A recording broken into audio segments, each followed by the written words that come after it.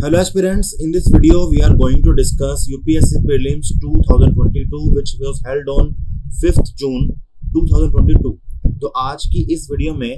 हम UPSC prelims के सारे क्वेश्चंस को डिस्कस करेंगे। साथ में आपको आंसर कीज मिलेगी क्वेश्चंस की तो आइए स्टार्ट करते हैं। हमारा क्वेश्चन नंबर वन है rapid financing instrument and rapid credit facility are related to the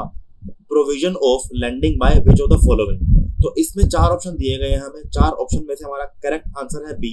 international monetary fund क्योंकि जो हमारी दोनों के दोनों पॉइंट है rapid financing instrument and rapid credit facility दोनों के दोनों ऐसी फैसिलिटीज़ हैं, दोनों के दोनों ऐसे एक यू नो पॉइंट्स हैं जो हमें इंटरनेशनल मॉनेटरी फंड जो डेवलपिंग कंट्रीज़ को या फिर अंडर डेवलप कंट्रीज़ को आईएमएफ एक तरह की सुविधा प्रोवाइड करती है फैसिलिटी प्रोवाइड करती है, जिसके अंडर जाके इंटरनेशनल मॉनेटरी फंड ऐसी कंट्रीज़ को जो डेवलप नहीं है, फिर डेवलपिंग कंट्रीज़ हैं, उनको हम की डेप्ट की प्रॉब्लम को सॉल्व करने के लिए करेंसी प्रॉब्लम को सॉल्व करने के लिए एक तरह से लोन प्रोवाइड करती है फिर फाइनेंशियल फैसिलिटीज़ प्रोवाइड करती है। तो हमारा आंसर होगा क्वेश्चन नंबर वन का बी इंटरनेशनल मॉनेटरी फंड हमारा क्वेश्चन नंबर टू है with reference to Indian economy consider the following statements an increase in nominal effective exchange rate indicates the appreciation of rupee second है an increase in the real effective exchange rate indicates an improve, improvement in trade competitiveness an increasing trend in domestic inflation relative to inflation in other countries is likely to cause an increasing divergence between near and real तो statement one यहाँ पे correct है NEER is a measure of value of a currency against a weightage uh, weighted average of several foreign currencies and increase in NIR indicates appreciation of rupee. जैसे यहाँ पे समझाया गया है एक्सप्लेनेशन के अंदर कि नीर एक मेजर है जिसमें हम करेंसीज को एक फॉरेन करेंसीज के एवरेज एक प्राइस निकालते हैं और अगर एक हमें नीर के अंदर हमें इंक्रीज अगर देखने को मिलता है उस एवरेज एक वेटेड एवरेज के अंदर हमें अगर इंक्रीज देखने को मिलता है तो इट मींस कि रुपी की जो वैल्यू है उसको एप्रिसिएशन हो रही है। सेम अगर हम बात करते हैं increase in NEER implies that exports become more expensive and import become cheaper therefore an increase indicates a loss in trade competitiveness तो यहाँ पे जो हमारी सेकंड स्टेटमेंट है वो यहाँ पे गलत हो जाती है कि अगर रील के अंदर हमें एक इंक्रीमेंट या इंक्रीज देखने को मिलता है so that indicates an improvement in trade competitiveness लेकिन इसका उल्टा होता है, इसलिए यहाँ पे statement number one and statement number हमारी करेक्ट होगा स्टेटमेंट नंबर टू यहाँ पे इनकरेक्ट है. And if you know that statement number 2 is incorrect, so you can eliminate option number a, c, option number a, b and d. And the correct answer is c, because आप यहाँ पे हमारा option number C correct है statement number one and statement number three दोनों यहाँ पे correct होंगे. हमारा अगला क्वेश्चन है question number three with reference to Indian economy consider the following statements हम स्टेटमेंट नंबर सिर्फ़ वन यहाँ पे पढ़ेंगे। और अगर आपको पता है कि statement number one is incorrect you can easily एनिमिलेट A C and D the answer option number B is absolutely correct because if the inflation is too high reserve bank of India likely to buy government securities so if inflation is too high ठीक है तो वहाँ पे जो आ, जो हमारा RBI है वो ट्राई कर रहा है कि मनी सप्लाई को कम किया जाए। ना कि मनी सप्लाई को इंक्रीज किया जाए। अगर आरबीआई गवर्नमेंट सिक्योरिटीज को परचेज करना स्टार्ट कर देगा तो it means the money flow और money supply will increase in the economy अगर हमारे कंट्री में या इकोनॉमी के अंदर इन्फ्लेशन है तो आरबीआई उस टाइम पे गवर्नमेंट सिक्योरिटीज को सेल करना स्टार्ट कर दे इससे कि जो मनी सप्लाई है वो कम हो जाए। तो यहाँ पे स्टेटमेंट नंबर वन एकदम इनकरेक्ट है। तो अगर आप लोगों को, अगर आपने इकोनॉमी के बेसिक्स कवर किया है तो स्टेटमेंट नंबर वन यहाँ पे इनकरेक्ट है and if you know that statement number one is incorrect so you can eliminate A C and D the correct answer is option number B two and three हमारा question number four है यहाँ पे। With reference to G twenty common framework consider the following statement so G twenty common framework basic समझ लेते हैं पहले क्या है। So G twenty common framework एक जी ट्वेंटी जो हमारी डेवलप्ड कंट्रीज़ उन्होंने बनाया था, और बनाया है उनका अभी भी करंट वर्किंग में है तो इनका बेसिक ऑब्जेक्टिव ये है कि डेवलपिंग कंट्रीज़ अगर कोई भी कंट्री किसी डेट इशू से या फिर करेंसी प्रॉब्लम से अगर सफ़र कर रही है तो they provide a you know a competitive and effective solution to these those countries तो जी ट्वेंटी कॉमन फ्रेमवर्क इसलिए बनाया गया था। तो यहाँ पे दोनों की दोनों स्टेटमेंट एकदम करेक्ट है कि जी ट्वेंटी जो हमारा फ्रेमवर्क है, वो पेरिस क्लब के साथ भी मिलके काम करता है and it support low income countries with their unsustainable debt तो दोनों यहाँ पे स्टेटमेंट करेक्ट है। हमारा आंसर होगा C both one and two question number five है हमारा with reference to Indian economy what are the advantages of inflation indexes bond तो इन्फ्लेशन इंडेक्सेस बॉन्ड वो होते हैं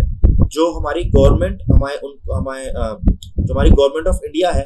वो प्रोवाइड करती है सिटीजन को। और इसके अंदर इन्फ्लेशन चाहे इंक्रीज हो या डिक्रीज हो, आपको एक पर्टिकुलर एक कूपन रेट के अकॉर्डिंग आपको इंटरेस्ट मिलता है। तो यहाँ पे थोड़ा सा रिस्क कम होता है, लेकिन इंटरेस्ट या फिर प्रॉफिट कम हो जाता है उस साथ में, क्योंकि यहाँ पे रिस्क अगर कम है तो ऑब्वियसली आपको जो इंटरेस्ट रेट है प्रॉफिट है, वो कम मिलेगा। तो यहाँ पे हमें ये पता होना ज़रूरी है कि गवर्नमेंट इसको इशू करती है and government has a right कि वो इंटरेस्ट जो कूपन रेट है या इंटरेस्ट रेट है, उसको कम या ज़्यादा कर सकती है। तो यहाँ पे स्टेटमेंट नंबर वन एकदम करेक्ट है हमारा। स्टेटमेंट नंबर टू भी एकदम करेक्ट है कि इन्वेस्टर को प्रोटेक्शन मिलती है यहाँ पे कि इन्फ्लेशन अगर बढ़ जाए, कम हो जाए तो आपको जो एक बेसिक इंटरेस्ट है या प्रॉफिट है, वो आपको मिलेगा मिलेगा। तो यहाँ पे statement number one and two एकदम करेक्ट है, लेकिन अगर जो आपको इन्फ्लेशन इंडेक्सेस बॉन्ड पे आपको जो इंटरेस्ट मिलेगा, जो आपको एक तरह से प्रॉफिट हो रहा है उस पर आपको वो नॉन टैक्सेबल है, ऐसा कहीं नहीं लिखा तो आपको जो प्रॉफिट मिलेगा, वो आपको tax as under capital gains आपको गवर्नमेंट को पे करना पड़ेगा। तो यहाँ पे स्टेटमेंट नंबर थर्ड एकदम इनकरेक्ट हमारा आंसर होगा A one and two only और अगर आपको ये आइडिया है कि स्टेटमेंट नंबर थर्ड यहाँ पे इनकरेक्ट है तो आप ए बी अपने यहाँ पे sorry B C and D को एलिमिनेट कर सकते हैं हमारा आंसर होगा correct A one and two only हम आगे बढ़ते हैं. With reference to foreign owned e commerce firm operating in India which of the following statements is are correct हमें रिसेंटली हमें देखने को मिला था कि कुछ हमें सुप्रीम कोर्ट ने आ, कुछ पॉलिसीज़ को टाइट किया था कि भाई जो बड़े बड़े ई कॉमर्स है हमारे अमेजोन है या फ्लिपकार्ट है मिंत्रा है तो ये इन पे गवर्नमेंट ने लिमिट लगाई कि एक तो आप किसी पर्टिकुलर ब्रांड को, जो you know big big name के ब्रांड्स हैं या बिग ब्रांड्स हैं, उनको एक लिमिट लगाई कि आप किसी एक पर्टिकुलर सेलर को पर्टिकुलर जो ब्रांड है, वो एक लिमिटेड या फिर ट्वेंटी या ट्वेंटी फाइव परसेंट करके उन्होंने एक लिमिट लगाई थी कि भाई, किसी पर्टिकुलर प्लेटफॉर्म पे एक लिमिटेड सेल एक पर्टिकुलर ब्रांड कर सकता है, यानी कि एक ही ब्रांड सारी सेल कर रहा है, या फिर एक पर्टिकुलर आपको एक ही ब्रांड हमारा एक यू नो एक प्लेटफॉर्म का फ़ायदा उठा के अपने प्रोडक्ट्स को सेल कर रहा है, जिससे कि हमारे डोमेस्टिक जो प्लेयर्स हैं उनको घाटा दिख रहा है तो इसलिए सुप्रीम कोर्ट ने एक टाइट किया कुछ यू नो एक पॉलिसीज़ को। स्टेटमेंट नंबर वन यहाँ पे इनकरेक्ट है कि जो हमारे आ, उस मार्केट प्लेस पे जो मार्केट प्लेस को ओन करता है वो अपने गुड्स को सेल नहीं कर सकते हैं या अपने प्लेटफॉर्म पे अपने गुड्स को सेल नहीं कर सकते। अगर प्रैक्टिकली देखा जाए तो they are selling their goods on their own platforms with their different different names but ये अलाउड नहीं है और I am sure after certain period of time जब रूल को कुछ टाइट किया जाएगा तो ये चीज़ एकदम एलिमिनेट हो जाएगी। तो यहाँ पे स्टेटमेंट नंबर वन इनकरेक्ट है बट स्टेटमेंट नंबर टू एकदम करेक्ट है। हमारा आंसर होगा बी टू ओनली हमारा क्वेश्चन नंबर सेवन है which of the following activities constitute real sector in the economy तो अगर हम रियल सेक्टर की बात करते हैं इकोनॉमी के अंदर तो रियल सेक्टर का मतलब है all the sector except the financial sector so all the economic activities minus financial activities in the economy तो यहाँ पे according to this explanation pass step number one एकदम करेक्ट है स्टेप नंबर टू एकदम correct है but third and fourth के अंदर कहीं ना कहीं हमारी फाइनेंशियल एक्टिविटीज़ की बात हो रही है। तो statement number third and fourth real sector में नहीं आते हैं। It does not they you know they do not come under the real sector और real sector in the economy that is why statement number one and two are correct हमारा answer होगा A one and two only हमारा question number eight है which one of the following situation best reflect indirect transfer often talked about in media recently with reference to India. तो हमें indirect transfer पता होना बहुत ज़रूरी है कि इनडायरेक्ट ट्रांसफ़र क्या होते हैं। तो अगर हम इनडायरेक्ट ट्रांसफ़र की बात करते हैं तो ये एक ऐसी सिचुएशन है जहाँ पे फॉरेन एंटिटी अगर कोई किसी पर्टिकुलर कंपनी का कोई एसेट को होल्ड करती है तो उनको वो एसेट्स ना ट्रांसफ़र करके उस उस पर्टिकुलर अमाउंट के एक शेयर्स ट्रांसफ़र कर दिए जाते हैं या फिर कुछ एक यू you नो know, एक इक्विटी उसको ट्रांसफ़र कर दी जाती है जिसको हम इनडायरेक्ट ट्रांसफ़र कहते हैं। तो यहाँ पे हम एक एसेट ट्रांसफ़र नहीं कर रहे हैं फॉरन एंटिटी को, हम उनको शेयर या फिर एक पर्टिकुलर परसेंटेज का इक्विटी शेयर कर, उसको हम कहते हैं इनडायरेक्ट ट्रांसफ़र तो यहाँ पे according to this explanation option हमारा statement number D that a foreign company transfer shares and such shares derive their substantial value from assets located in India. तो एकदम करेक्ट स्टेटमेंट हमारा आंसर होगा D that a foreign company transfer shares and such share derive their substantial value from assets located in India. Answer होगा हमारे question number eight का D हमारा question number nine है यहाँ पे with reference to the expenditure made by an organization or a company which of the following statements is are correct acquiring new technology is capital expenditure अगर कोई country new technology acquire करती है और new technology acquire करने के बाद वो उस यू नो टेक्नोलॉजी को यूज़ करके, अपनी कैपिटल एक्सपेंडिचर करके कैपिटल एक्सपेंडिचर कैसे होगा? अगर उस न्यू टेक्नोलॉजी को क्रिएट करके एक्वायर करके कोई ऐसा प्रोडक्ट क्रिएट करती है, जिससे उनकी एसेट्स के अंदर इंक्रीमेंट होगा तो उस नज़रिए से अगर हम जाएँ या उस वे में अगर हम जाएँ तो we can say acquiring new technology can be come under the capital expenditure तो हमारा आंसर स्टेटमेंट नंबर वन यहाँ पे एकदम करेक्ट है। But statement number two dept financing is considered capital expenditure while equity financing is considered revenue expenditure तो यहाँ पे दोनों स्टेटमेंट हमारी स्टेटमेंट डेट फाइनेंसिंग भी और इक्विटी फाइनेंसिंग भी, दोनों ही रेवेन्यू एक्सपेंडिचर के अंदर नहीं आते हैं। दोनों कैपिटल एक्सपेंडिचर के अंदर आते हैं, क्योंकि डेप्ट फाइनेंसिंग का मतलब यह है कि जब किसी को कहीं से लोन ले रहे हो, लेकिन अगर इक्विटी फाइनेंसिंग का मतलब यह है कि you are selling your company's share you selling your company's you know a particular equity share of your company तो वहाँ पे उसको बोलते हैं इक्विटी फाइनेंसिंग दोनों ही एक तरह की एक टर्म्स है या फिर एक ऐसा इकोनॉमिक फैसिलिटीज़ जहाँ से कंपनीज़ यू नो फंड को रेज करती है दोनों से, लेकिन डेप्ट फाइनेंसिंग आप लोन ले रहे हो, लेकिन इक्विटी फाइनेंसिंग में आप अपनी कंपनी का एक शेयर सेल करते हो, और उसके यू नो बदले में आप कुछ फंड को या पर्टिकुलर यू नो अमाउंट को रेज करते हो मार्केट से, लेकिन दोनों वो आते हैं हमारे कैपिटल एक्सपेंडिचर के अंदर। तो हमारा यहाँ पे स्टेटमेंट नंबर वन एकदम करेक्ट है। सेकंड स्टेटमेंट यहाँ पे इनकरेक्ट है, हमारा आंसर होगा ए वन ओनली हमारा क्वेश्चन नंबर टेन है। Reference to Indian economy consider the following statement a share of household financial saving goes towards government borrowing ये तो बहुत ही एक नॉर्मल हमारी स्टेटमेंट है, एकदम करेक्ट है, जो हम सेविंग करते हैं, या फाइनेंशियल सेविंग करते हैं, चाहे वो हमारा पीएफ अकाउंट हो या फिर और तरह के हमारे सेविंग है, वो गवर्नमेंट बोरोइंग के अंदर जाता है, एकदम करेक्ट स्टेटमेंट है। सेकंड है dated securities issued at market related rates in options form a large component of internal debt एक बिल्कुल ठीक बात है। जो डेटेड सिक्योरिटीज गवर्नमेंट हमें इशू करती है, वो ऑब्वियसली एक इंटरनल डेट बन जाती है गवर्नमेंट की, हमारे गवर्नमेंट के लिए एक ये, एक इंटरनल डेट है। तो यहाँ पे दोनों स्टेटमेंट एकदम करेक्ट है। हमारा आंसर होगा C both one and two consider the following statements pursuant to the report of Agent Sanyal Committee, the Contempt of Court Act 1971 was passed. Correct statement है एकदम. The Constitution of India empowers the Supreme Court and High Court to punish for contempt for themselves एकदम correct statement है third है हमारा the constitution of India define civil contempt and criminal contempt so yes there are two kind of contempt one is civil contempt another is criminal contempt पर दोनों को constitution of India define नहीं करता। दोनों को with time you know convention से rule से define किया गया है तो यहाँ पे थर्ड स्टेटमेंट गलत है। अगर हमारी थर्ड स्टेटमेंट गलत है तो we can eliminate option number C and option number D हमारा सी एंड डी यहाँ पे एलिमिनेट हो जाएँगे। लेकिन फोर्थ स्टेटमेंट हमारी ठीक है that in India the parliament is vested with the power to make laws on contempt of court contempt of court को लेके क्या पनिशमेंट दी जाएगी वो हमारी पार्लियामेंट डिसाइड करती है। इसलिए statement number one two and four एकदम करेक्ट है हमारा आंसर होगा B one two and four only हमारा क्वेश्चन नंबर ट्वेल्व है with reference to India consider the following statements Government law officers and legal firms are recognized as advocates, but corporate lawyers and patent attorneys are excluded from recognition as advocates. देखो एक ना article आया था EPA के अंदर तो EPA के अंदर जो आर्टिकल आया था उसमें लिखा गया था an emerging class of legal professionals engaged with various law related activities such as government law officers, corporate lawyers, law firms, law professors, legal researchers, and patent attorneys have been excluded from recognition as advocates. तो according to this you know according to this statement जो कि हमारे EPW e के अंदर आया था and I am sure कि ये स्टेटमेंट यूपीएससी ने उस आर्टिकल से एग्जैक्ट उठाई है तो यहाँ पे स्टेटमेंट नंबर वन गलत हो जाता है। अगर आप लोगों ने स्टेटमेंट नहीं भी पढ़ी है तो भी गवर्नमेंट लॉ ऑफिसर्स और जो लीगल फॉर्म को एडवोकेट बोल सकते हैं कि नहीं बोल सकते, आप समझने का ट्राई करेंगे। तो हमने पहले ये समझना होगा कि एडवोकेट और लॉयर के अंदर क्या फ़र्क होता है। देखो लॉयर होते हैं वो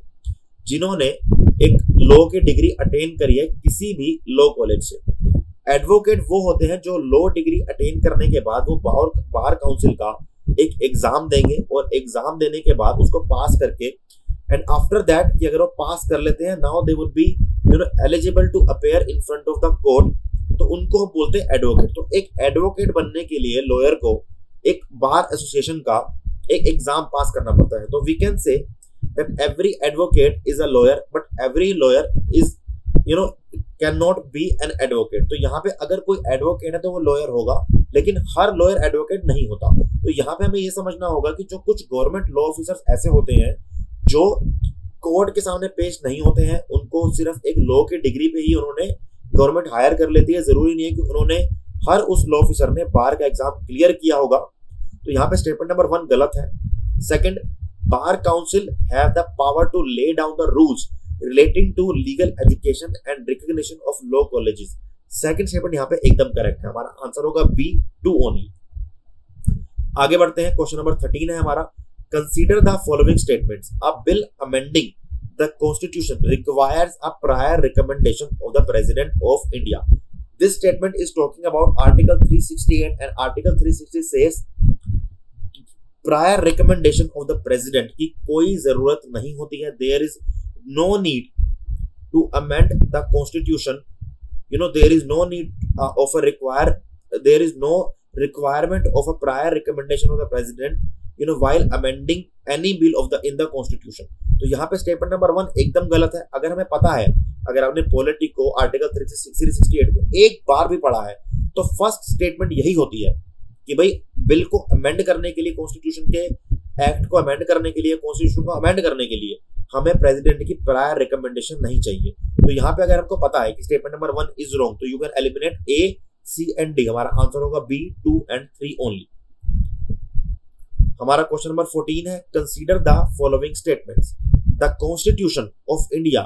classifies the ministers into four ranks आगे पढ़ने की ज़रूरत ही नहीं है। कॉन्स्टिट्यूशन ऑफ़ इंडिया मिनिस्टर्स को बिल्कुल भी क्लासिफाई नहीं करता। Constitution of India says that there should be a council of minister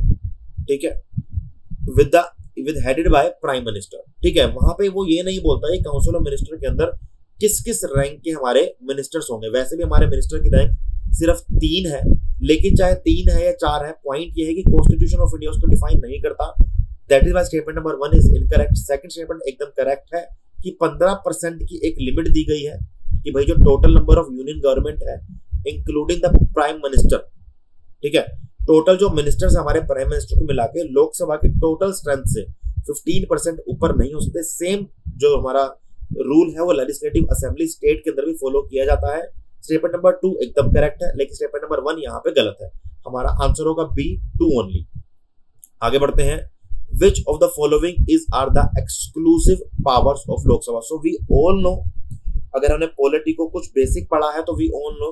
there are few powers which are exclusively available और exclusively comes under the Lok Sabha only वहाँ पर राज्यसभा की powers नहीं होती हैं। तो देखते हैं कि तीनों गिवन स्टेटमेंट में से कौन सी स्टेटमेंट करेक्ट है। The ratify the declaration of emergency emergency को डिक्लेयर करने के लिए या फिर रेटिफाई करने के लिए लोकसभा और राज्यसभा दोनों की पावर लगती है।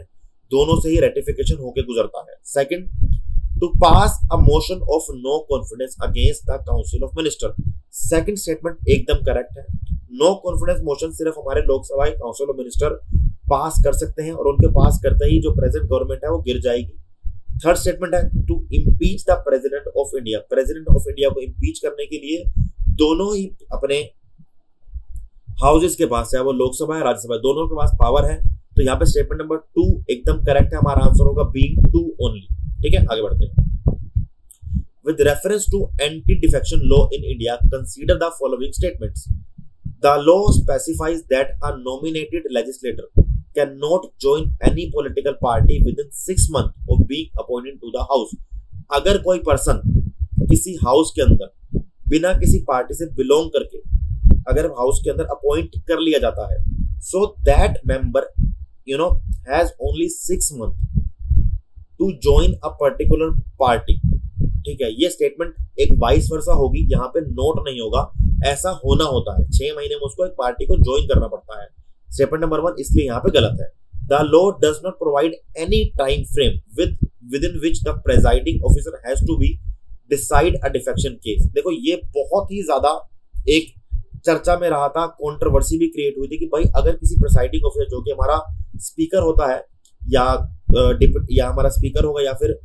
जो चेयरपर्सन होगा, हमारा चेयरमैन होगा राज्यसभा के केस में तो उन दोनों को पावर दी जाती है कि आप डिफेक्शन के केस में टाइम फ्रेम नहीं है। तो सुप्रीम कोर्ट ने कई बार प्रिसाइडिंग ऑफिसर को, चाहे वो राज्यसभा हो लोकसभा हो, दोनों को फटकार लगाई है। इवन हमारे लेजिस्लेटिव असेंबली के भी स्पीकर को भी कई बार फटकार लगाई है सुप्रीम कोर्ट ने कि भाई, अगर टाइम फ्रेम बनाओ और टाइम के अंडर अंडर ही आप डिफेक्शन केस को सोल्व करो। ऐसा नहीं कि किसी पर्सन के लिए डिफेक्शन केस स्टार्ट हो और आप उसको तीन साल, चार साल बाद करके डिफेक्शन केस का रूलिंग दे रहे हो और जबकि टोटल टाइम फ्रेम ही एक मिनिस्टर का पाँच साल का होता है, उसके बाद तो फ्रेश इलेक्शन होंगे तो कोई पॉइंट नहीं रह जाता अगर टाइम फ्रेम नहीं है तो। लेकिन स्टेटमेंट नंबर टू यहाँ पे करेक्ट है, हमारा आंसर होगा बी टू ओनली आगे बढ़ते हैं। Consider the following statements attorney general of India and solicitor general of India are the only officers of government who are allowed to participate in the meetings of parliament of india. So, yes it is right that attorney general of india is you know allowed to participate in the meetings of parliament of india. दोनों house में attorney general of India present हो सकता है without the right of voting but solicitor general of India को ऐसा कोई भी you you know know, एक तरह का राइट नहीं है पार्टिसिपेट करने का पार्लियामेंट ऑफ़ इंडिया की मीटिंग्स के अंदर. तो स्टेटमेंट नंबर वन इसलिए यहाँ पे गलत हो जाएगी. सेकंड स्टेटमेंट है according to constitution of India the attorney of attorney general of India submit its his resignation when the government which appointed him resigns देखो ये एक जनरल प्रैक्टिस है कि when the present government you know when the ruling government resigns the attorney general of india resigns with the you know with the resignation of present government or the ruling government but it is it it does not defines under the constitution of india so there is no rule in the constitution of india that attorney general of india has to submit his resignation when the government which appointed him resigns. ऐसा कोई rule नहीं है, कोई ऐसा लिखा हुआ नहीं है कहीं पे, लेकिन एक जनरल प्रैक्टिस है तो यहाँ पे दोनों स्टेटमेंट गलत दी गई है वन एंड टू दोनों गलत है। ठीक है? हमारा आंसर होगा D neither one no two हमारा क्वेश्चन नंबर एटीन है with reference to the writs issued by the court in India consider the following statement statement number one है हमारी mandamus will not lie against a private organization unless it is interested with the public duty देखो हम mandamus किसी भी private organisation के against हमारा supreme court या high court issue नहीं कर सकता until unless that organization that private organization you know the public duty or it is doing pub, uh, uh, work related to public duty which comes under the public duty and public work. अगर कोई private organisation कोई public duty कर रही है public work कर रही है तो वो मैंडमस के अंडर आती है तो उसके अगेंस्ट मैंडमस इशू किया जा सकता है। तो स्टेटमेंट नंबर वन एकदम करेक्ट है। सेकंड स्टेटमेंट है mandamus will not lie against a company even though it may be government company देखो दोनों स्टेटमेंट यहाँ पे एकदम ऐसे हो जाएँगे या तो भाई वन ठीक होगा या टू ठीक होगा। तो हमको पता है कि टू ठीक नहीं है। अगर आपको वन एंड थ्री का कोई आइडिया नहीं है ना तो भाई सेकंड स्टेटमेंट गलत है, एकदम गलत है। अगर गवर्नमेंट कंपनी है तो मैंडमस तो उसके अगेंस्ट हम रेट इशू कर ही सकते हैं ना, क्यों नहीं कर सकते? जितने भी हमारे रिट्स हैं, पाँच रिट्स है, पाँचों के पाँचों writs government company government entity के अगेंस्ट तो इशू किए जा सकते हैं। तो यहाँ पे सेकंड स्टेटमेंट गलत है, और अगर आपको पता है, अगर आपने पोलिट्री में कुछ दिमाग लगा के पढ़ाई करी तो सेकंड स्टेटमेंट गलत हो जाएगी, और you can eliminate A B and D correct answer is C one and three only आगे बढ़ते हैं। Question number 19 is with reference to Ayushman Bharat digital mission consider the following statements private and public hospitals must adopt it तो must नहीं है भाई। ये ना एक वॉलेंटरी प्रैक्टिस है that private and public hospitals can adopt it must नहीं है। If they want to adopt it if they want to do something good for the society for the betterment of the society so they can adopt और they can come under the Ayushman Bharat digital mission but it is not mandatory and उनके ऊपर कोई mandatory नहीं है। एक voluntary practice है, अगर वो चाहे तो कर सकते हैं, ना चाहे तो नहीं कर सकते। स्टेटमेंट नंबर वन गलत है। ठीक है? अगर स्टेटमेंट नंबर वन गलत है, भाई थोड़ा दिमाग लगाओ। ए सी एंड डी को एलिमिनेट करो, हमारा आंसर होगा B three only second statement देख लेते हैं आपके लिए, कोई बात नहीं। As it aims to achieve universal health coverage every citizen of India should be a part of ultimately भाई एवरी मस्ट ओनली तो ये सब ना, एक ना, एक एक्सट्रीम वर्ड्स हैं जो यूपीएससी के अंदर अगर किसी स्टेटमेंट में लिखा हुआ है तो भाई अपने आप वो स्टेटमेंट 95 परसेंट बार वो स्टेटमेंट गलत होती है। तो उस 95 परसेंट में से आज हम इस क्वेश्चन के अंदर उनको यूज़ करेंगे। Statement number one and two दोनों गलत है। थर्ड स्टेटमेंट एकदम करेक्ट है, हमारा आंसर होगा B three only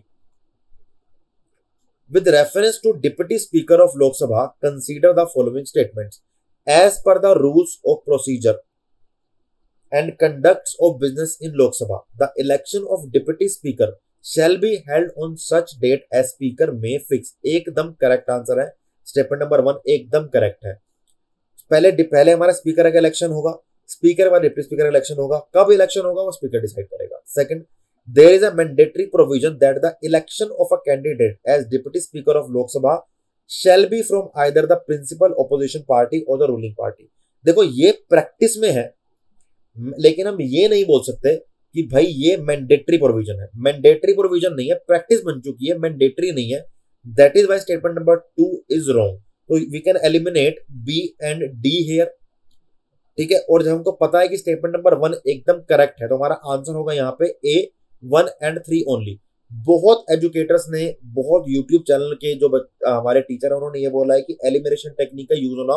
बंद हो गया। भाई मुझे ऐसा बिल्कुल नहीं लगता। मैंने अभी तक जितने भी क्वेश्चन देखे हैं, हमने अभी 20 क्वेश्चन सोल्व करे हैं एंड आई एम श्योर कि हमने चार पाँच क्वेश्चन अभी भी एलिमिनेशन टेक्निक से सोल्व कर दिए हैं। तो एलिमिनेशन टेक्निक हर बार यूपीएससी के एग्ज़ाम में आपको यूज़ करनी है, और हमेशा आपके 10 से 15 क्वेश्चन एलिमिनेशन टेक्निक से हो ही जाएँगे। देखो, ये क्वेश्चन देख लो।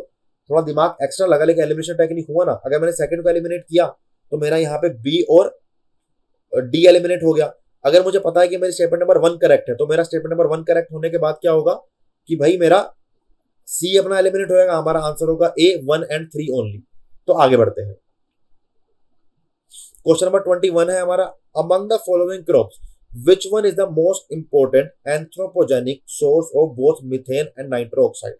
अगर आप लोगों ने एनवायरमेंट के अंदर बेसिक पढ़ा है, अगर आपने वो चैप्टर पढ़ा है ग्रीन हाउस गैसेज वाला, कि भाई ग्रीन हाउस गैसेज का सोर्सेज क्या है तो सबको पता है। कि rice cultivation paddy cultivation is the you know मेज one of the major sources of methane gas तो हमारा आंसर होगा बी राइस बहुत सिंपल है भाई। अगर ये क्वेश्चन गलत करके आया हो ना तो बहुत दिक्कत रही प्रिपरेशन के अंदर। सेकंड है, system of rice intensification of cultivation in which alternate wetting and drying of rice field is practiced results in. तो यहाँ पूछा गया है सिस्टम ऑफ़ राइस इंटेंसिफिकेशन जिसके अंदर हम ऑल्टरनेट वेटिंग एंड ड्राइंग करते हैं राइस फ़ील्ड को, ठीक है? तो यहाँ पे हम थोड़ा पढ़ लेते हैं कि इसका मतलब क्या है। तो राइस इंटेंसिफिकेशन सिस्टम के अंदर क्या होता है? एक ये ऑल्टरनेट वेटिंग एंड ड्राई का सिस्टम है which is a form of controlled and intermediant irrigation of rice crop इसमें एक बेसिक हमारा ऑब्जेक्टिव ऑब्जेक्टिव ये है कि एक तो ये मेथेन की एमिशन को कम करता है, दूसरा है वाटर कंजम्पशन को कम करता है। और अगर वाटर कंजम्पशन कम होगा ठीक है, अगर वाटर कंजम्पशन कम होगा तो हमारा वाटर पंप कम चलेगा, हमारी मोटर कम चलेगी, जिससे हमारा जो इलेक्ट्रिसिटी है या हमारा जो फ्यूल कंजम्पशन है वो कम हो जाता है। तो उसके अकॉर्डिंग अगर मैं देखता हूँ टू एंड थ्री एकदम करेक्ट है, लेकिन यहाँ पे ना राइस इंटेंसिफिकेशन सिस्टम के अंदर कहीं भी ये नहीं पढ़ा गया मैंने या मैंने कहीं नहीं देखा कि सीड की रिक्वायरमेंट कम हो जाएगी। सीड की रिक्वायरमेंट कम नहीं होगी सीड की रिक्वायरमेंट सेम रहेगी, लेकिन yes the basic objective behind this system is to reduce methane production and reduce the you know the demand of water consumption demand of water तो वाटर कंजम्पशन और methane production दोनों को ये कम करता है तो इनडायरेक्टली कहीं पे ना कहीं जाके फ्यूल कंजम्पशन को और इलेक्ट्रिसिटी कंजम्पशन को ये एक तरह से हमारा आंसर करेक्ट हो जाएगा। तो हमारा टू एंड थ्री एकदम करेक्ट है। आगे बढ़ते हैं। Which of the following lakes of West Africa has become dry and turn into a desert बहुत ही फैक्चुअल आंसर अगर आपको पता है तो आंसर दो ऐसे क्वेश्चन का, नहीं पता तो आगे बढ़ो। और छुट्टी आंसर है बी लेक फेबविबिन फेबविबिन मेरे से पढ़ा भी नहीं जा रहा। आई दोनों के आप लोगों को आंसर पता नहीं पता लेकिन एक बात है कि ये लेक न्यूज़ में थी। तो लेक फैगविबिन इसका आंसर है जो कि वेस्ट अफ्रीका के अंदर है, जो भाई ऐसा हमें कई फ़ोटोज़ भी देखने को मिले हैं, कई यूट्यूब वीडियोस भी थी, कई एडुकेटर ने पढ़ाया भी था, कई बार इसका आर्टिकल भी आया था। तो हमारा यहाँ पे आंसर बी एकदम करेक्ट होगा। Gandikota canyon of South India was created by which of the following rivers देखो, अगर आपने फ़िज़िकल इंडिया के बारे में अच्छे से पढ़ा तो आपने ज़रूर पढ़ा होगा Gandikota canyon are known as the the canyon of India ठीक है, इनको, मैं आपको पढ़ा भी देता हूँ कि इनको ग्रैंड कैनियन ऑफ़ इंडिया कहा जाता है, क्योंकि जो यूएस के अंदर ग्रैंड कैनियन ऑफ़ इंडिया है, ये उसकी तरह lookalike of grand canyon grand canyon तो they are known as grand canyon of India ये आंध्र प्रदेश के अंदर है और जो रिवर इनसे एसोसिएटेड है, वो है पेनार रिवर तो हमारा आंसर होगा सी पेनार रिवर एकदम करेक्ट आंसर हमारा सी होगा। बाकी भी स्टेटमेंट्स को एक्सप्लेनेशन को पढ़ लेना, क्योंकि, और आगे भी ध्यान रखो कि ऐसी चीज़ों का आपने याद रखना है। न्यूज़ में एक किसी फैक्चुअल आपको लिखता है कि भाई न्यूज़ पढ़ी है, कोई हमने ऐसा कोई आर्टिकल पढ़ा है कि beautiful places in Andhra Pradesh can famous canyon of India तो इन चीज़ों के बारे में थोड़ा थोड़ा पढ़ लिया करो। सब कुछ बुक से रट के आंसर नहीं आता। कुछ थोड़ा दिमाग अपना लगाना भी ज़रूरी है। क्वेश्चन नंबर ट्वेंटी फाइव है। Consider the following pair peak mount peak mountains तो यहाँ पे देखते हैं कौन कौन सी करेक्ट है। देखो, नमचा बरवा हमारी है अरुणाचल प्रदेश में और गढ़वाल हिमालय है हमारा कहाँ पे? उत्तराखंड में। तो यहाँ पे स्टेटमेंट हमारा पेयर वन तो गलत हो गया। पेयर वन गलत हो गया तो ए और सी को एलिमिनेट कर दो। या तो सेकंड ठीक है या फिर थर्ड ठीक है। ठीक है? सेकंड तो भाई हंड्रेड परसेंट आँखें बंद करके ठीक है। नंदा देवी हमारा उत्तराखंड में आता है कुमाऊं हिल्स हमारे उत्तराखंड में आते हैं। तो सेकंड पे टिक करना है बी और आगे बढ़ जाना है। थर्ड पता है नहीं पता है अलग बात है लेकिन नोकरेक का जो हिल्स है या फिर बायो आ, हमारा बायोस्फीयर रिज़र्व है वो आता है मेघालय के अंदर गारो हिल्स में आता है। तो यहाँ पे स्टेप हमारा पेयर नंबर थर्ड इनकरेक्ट है। Second pair Nanda Devi Kumaon hills में उत्तराखंड में है एकदम करेक्ट है। तो आगे बढ़ते हैं।